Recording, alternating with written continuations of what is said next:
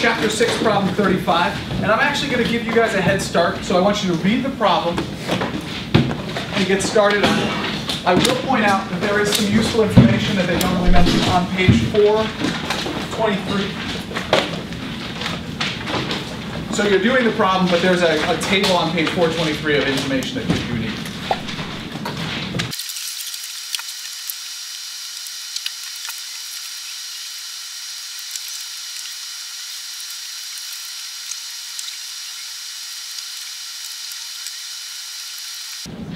All right, Cheryl. We have, I believe, a copper sphere that we're pulling upward in, is it in air? Is it? It's in a fluid. Awesome. Fluid. Uh, we know the radius of the object, we know the proportionality constant, we know the constant velocity we're pulling it upward with. Um, and we're looking for the force applied. Cheryl, how do you want to start? I actually don't suggest doing like finding the resistance force or things like that. That's kind of doing a piecemeal. Uh, you will eventually find the resistance force, but I prefer actually not to start there. It's kind of like pulling out little pieces, and I prefer to kind of do everything all together. What would you suggest, um, Carol? We're dealing with forces, so drawing a free body diagram is a good first step. Kevin, free body diagram?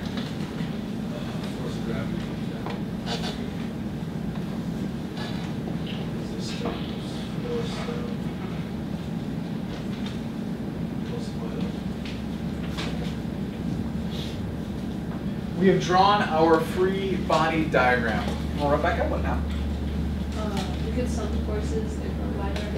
Summing the forces in the y direction, force applied minus the resistance force minus the force of gravity equals mass times the acceleration in the y direction. Please start plugging in the stuff for me. That's it. Just that's right there. Um,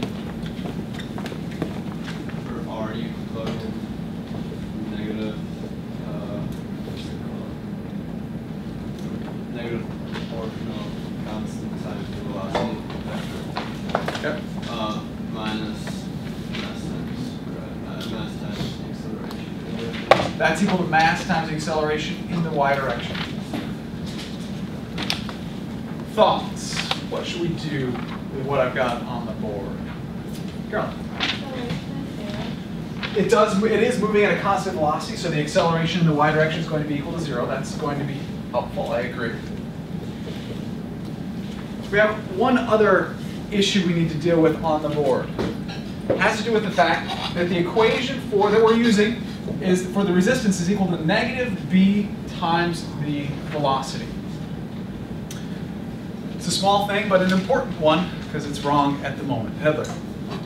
Um, the negative signifies that it's in the opposite direction of the velocity. Therefore, In the equation that we have there, they should be positive. We have already identified by drawing the free body diagram the direction of the resistance force. We already identified that it's opposite the direction of the velocity. Therefore, this negative is not going to, we're not going to put it in there. It would actually be redundant, and we would actually have the resistance force in the same direction as the velocity. So if you recall, uh, the force of a spring from last year was equal to negative kx, where this negative had to do with the direction. And once you have drawn the free body diagram, you've determined the direction. The same thing is true here. The resistance force is negative is equal to negative b times the velocity. That's just the direction. So we don't put that uh, negative in twice. So the force applied then is equal to mass times the acceleration due to gravity plus the proportionality constant times the velocity. We have everything in here with the exception of the mass. How are we going to figure out the mass? Bob? Uh, density equals mass over volume. We got the density from 423. mass per unit volume, therefore the mass is going to be equal to the density times the volume. The density of copper is 8.92 times 10 to the 3. 892, so 8,920 kilograms per meter cubed. Okay. Uh, we're close.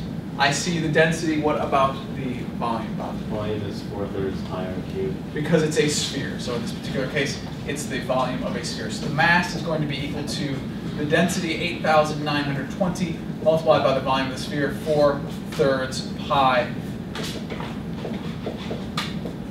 r cubed. We have the radius is 0.02 that cubed. What then is the mass, please? Mm-hmm.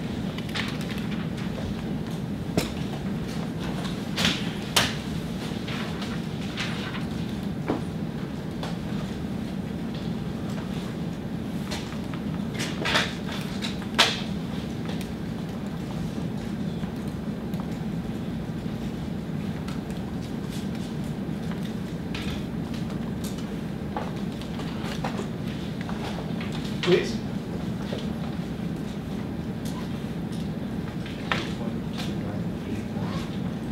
Zero point two nine eight nine? Yes.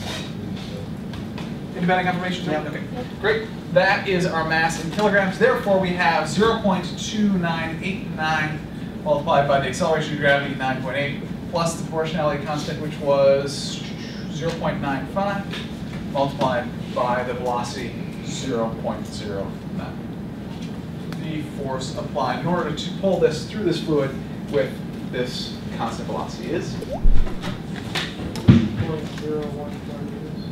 3.014 newtons with sig figs. Um, were there three? I don't really know. Yes, three. Yes. Okay.